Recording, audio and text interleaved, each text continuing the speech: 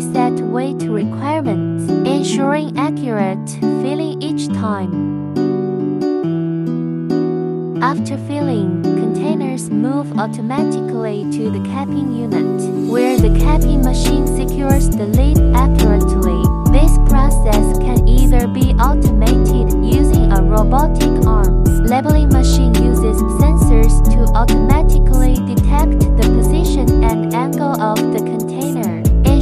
each